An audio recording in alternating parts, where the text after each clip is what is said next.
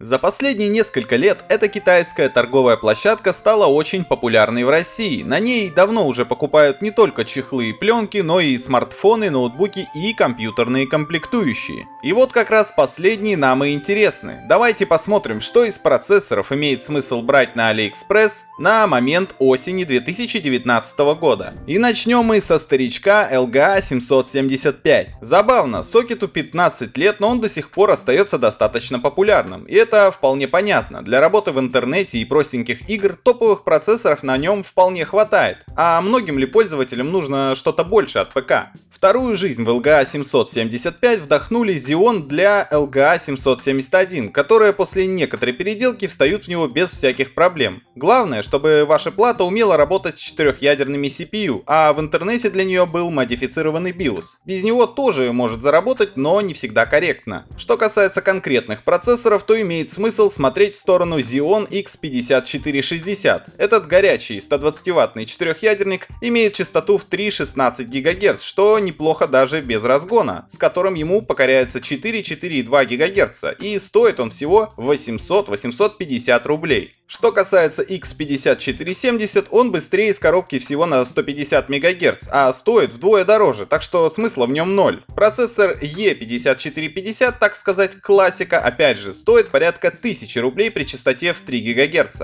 Не особо выгодно. Но ну, а брать более слабое решение с частотой ниже 3 ГГц вообще смысла нет. Одноядерная производительность будет очень грустной. Собирать ПК на 775 сокете с нуля нет никакого смысла. Такие зионы даже в разгоне с трудом тянут современные игры, но вот взбодрить старичка, работающего на Core 2 Duo, четырехъядерным CPU смысл есть, система станет куда шустрее. К таким Xeon в пару имеет смысл брать видеокарты типа GTX 660, 750 Ti, GT 1030 или AMD RX 550. Все они показывают приблизительно одинаковый уровень производительности, более чем достаточный для онлайн-игр. К тому же при желании более-менее комфортно получится поиграть в хиты прошлых лет, типа Ведьмак 3 либо GTA 5. Переходим к LGA 1156. Эта платформа уже интереснее, и Xeon под нее является аналогом Core i5 или i7 первых поколений, так что в играх они чувствуют себя куда комфортнее. Но отсутствие AVX инструкции уже начинает сказываться, так что запаса на будущее опять же маловато. Однако, как и в случае с 775, если вы сейчас работаете на каком-нибудь двухъядерном Core i3 530, 8-поточный Xeon очень ощутимо поднимет производительность. Также огромный плюс в том, что эти Xeon поддерживаются из коробки. Никаких прошивок BIOS не нужно. Вставили новый CPU и можете работать. И да, не стоит забывать про разгон. Если ваша система с ним справляется, из этих процессоров нередко можно выдавить 4 ГГц, что зачастую даст существенный прирост в 20-30%. Что касается конкретных решений, то единственным интересным вариантом является Xeon X3440 с частотой до 2,93 ГГц за 650-700 рублей. Xeon X3430 имеет только 4 потока, слабовато, а более старшие процессоры стоят уже неоправданно дорого. X3480 на 3,73 ГГц аж 5000 рублей, причем ту же самую частоту легко покорит X3440 в разгоне. А теперь немного полезной и тематической рекламы. Чтобы не ошибиться с покупкой, не переплатить и найти настоящие скидки, советую воспользоваться расширением Ali Radar. Оно покажет динамику цены, рейтинг продавца и найдет похожие товары. Причем расширение сразу покажет вам самые выгодные предложения на конкретный товар. Али радар появится в виде небольшого окна снизу справа и показывает нам рейтинг продавца, похожие товары, фото из отзывов покупателей и динамику цены. Как видим, Xeon X3440 значительно подешевел за последние месяцы. Если вас что-то не устраивает, всегда можно найти в похожих товарах более выгодный вариант. Сервис доступен для браузера и смартфона. Ссылки на AliRadar я оставлю в описании.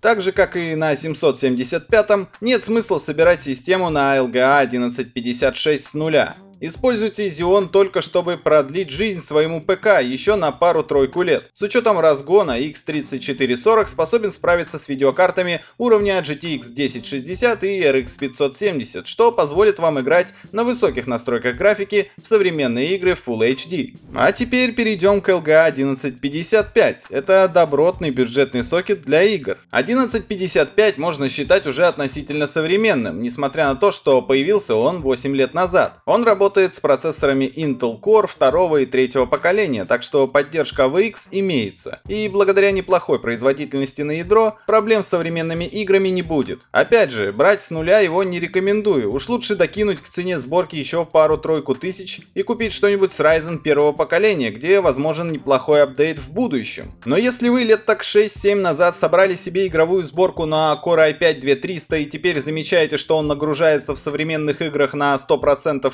привнося в геймплей фризы, вы можете это исправить. Всего процессоров там под два десятка, но отсеять лишнее просто. Так младший четырехпоточный Xeon, аналоги Core i5, долой сразу, они уже мало что могут в современных играх. Топовые восьмипоточные с частотой 4 ГГц тоже мимо, за их цену можно собрать ПК на Ryzen 5 1600. Самые выгодные это младший восьмипоточный Xeon E3 1230, имеющий 3,3 ГГц на все ядра и стоящий всего 2500 рублей. И из десктопных CPU ближайшим его аналогом является i7 2600. Остальные решения стоят далеко за 3000 рублей, оказываясь быстрее зачастую на пару сотен мегагерц, что несерьезно. В пару к такому Xeon могу посоветовать ставить видеокарты вплоть до AMD RX 580 или Nvidia GTX 1660. Высокие настройки в большинстве современных игр Full HD такой связки покоряются без проблем. Если же у вас плата поддерживает разгон, за приблизительно 5000 рублей можно взять Core i7 2600K. На частоте 4,2-4,5 ГГц этот камешек еще долго будет справляться с современными играми и вполне способен вытянуть даже RTX 2060 или AMD RX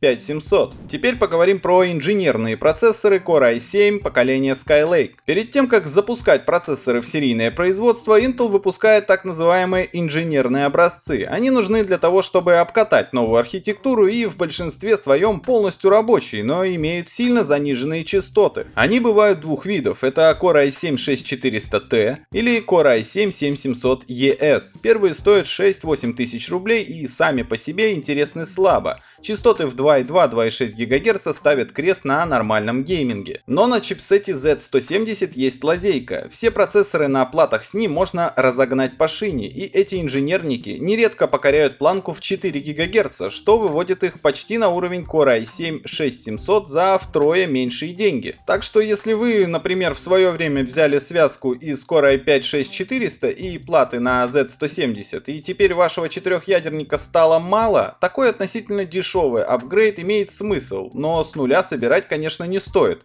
Выгоднее опять же взять Ryzen 5600 и плату на B350 к нему. Лиза, ну может хватит, они скоро спалят, что я постоянно вас рекламирую. И будут писать, что я продался AMD. Второй процессор тоже интересен, но опять же только для апгрейда. Конечно, никакой это не Core i7 7700, это опять же инженерник, но уже куда бодрее по частотам. Turbo Boost в 3,4 ГГц выводит его приблизительно на уровень Core i7 6700, который стоит порядка 19-20 тысяч, так что с играми у него проблем не будет. Конечно, цена в 12 тысяч несколько шокирует. За эти деньги можно заказать китайца, который будет сидеть в вашем подвале и собирать зионы, а вы будете продавать их друзьям. Хорошо.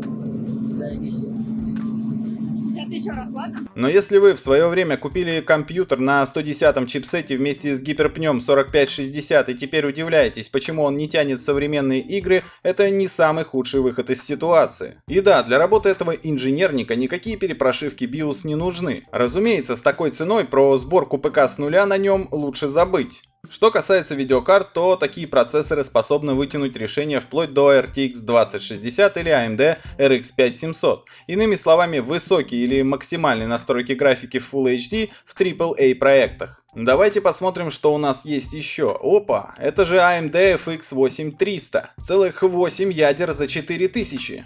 Это очередные процессоры чисто под апгрейд на старом уже сокете AM3+, которые сейчас отдают за сущие копейки, 3,5-4 тысячи рублей. Именно столько стоит старый FX 8320, способный работать на 4 плюс ГГц, но все еще собирать на нем ПК с нуля не стоит. Ryzen будут выгоднее, но если вы имеете компьютер компьютер на каком-нибудь четырехъядерном AMD FX 4320, который уже мало что может в современных играх, то переход на восьмиядерный CPU будет глотком свежего воздуха. Такой процессор способен справиться с GTX 1060 или RX 570 и тянуть любые современные игры хотя бы еще пару лет. Вот мы и пришли к первому сокету, на котором имеет смысл собирать ПК с нуля. Это LGA 2011. Эти Xeon основаны на втором и третьем поколении Intel Core, так что AVX инструкции они уже поддерживают. Разброс тут лютый, от 4 до 12 ядер и от 2 до почти 4 ГГц на все ядра.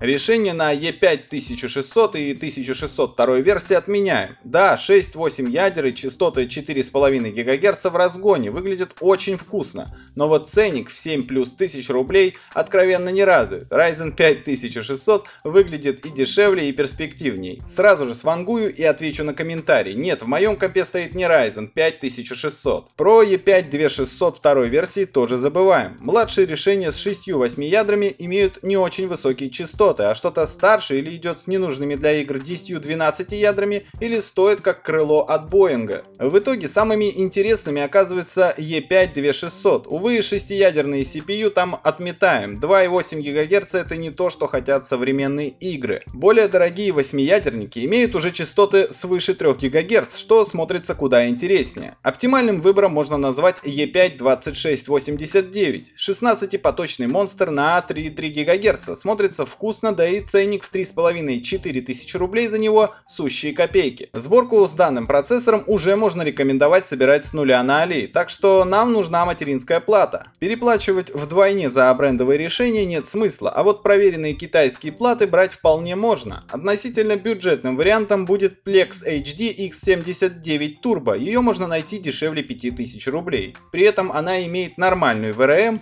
4 слота под OZU, 4-канальный режим работы и один M2 PCI Express. В общем, отличное решение за свои деньги. Что касается видеокарты, то с таким процессором имеет смысл рассматривать AMD Vega 56 или GTX 1660 Ti. Все-таки одноядерная производительность не слишком высокая и рассчитывать на 100 плюс FPS не стоит. Но получить стабильные 50-60 кадров на высоких или ультра настройках Full HD можно без проблем. Ну и закончим мы этот видос на AMD Ryzen. Это современный топ с оглядкой на будущее. AMD клепает свои процессоры под сокет AM4 как заведенные, по поколению в год. А с учетом того, что изменений в новых Ryzen много и они положительно сказываются на производительности в играх, первое поколение на архитектуре Zen скидываются за сущие копейки. Первый интересный представитель Ryzen 5 1400. 4 ядра 8 потоков, легко гонится до 3,7-3,8 ГГц и стоит при этом всего 4-4,5 тысячи рублей. Отличный вариант в пару к RX 570 или GTX 1060. Вторым идет Ryzen 5 1400, тут уже 6 ядер и 12 потоков. Частота в разгоне такая же, но стоит он в полтора раза дороже Ryzen 5 1400, порядка 6000 рублей, но при этом в полтора раза мощнее. Его можно брать в пару к чуть более быстрым видеокартам, например GTX 1660 или RX 590. Ну и гвоздь сегодняшней программы Ryzen 7 1700, 8-ядерный 16-поточный монстр, который в разгоне сможет работать на 3,8 ГГц ГГц обойдется дешевле 10 тысяч рублей. Опять же, чисто для игр это не самый лучший выбор, ибо производительность в них у него на уровне Ryzen 5 1600, но если вы к тому же хотите стримить или работать за ПК, это великолепное решение, которое догоняет в вычислительных задачах Core i7 8700K, который на минуточку стоит в 3 раза дороже. Однако, покупая этот CPU, нужно помнить, что 8 ядер в разгоне это не шутки, и скушать он может вплоть до 150 Вт, что требует и качественной качественной платы и хорошего охлаждения. Ну все, Лис, я сказал про Ryzen эти все твоих первых поколений, которые нужно продать. Э, дай мне мою зарплату. На этом все. Не забудьте жмякнуть лайк и написать в комментариях, что я там неправильно сказал. С вами был МК. До скорых встреч.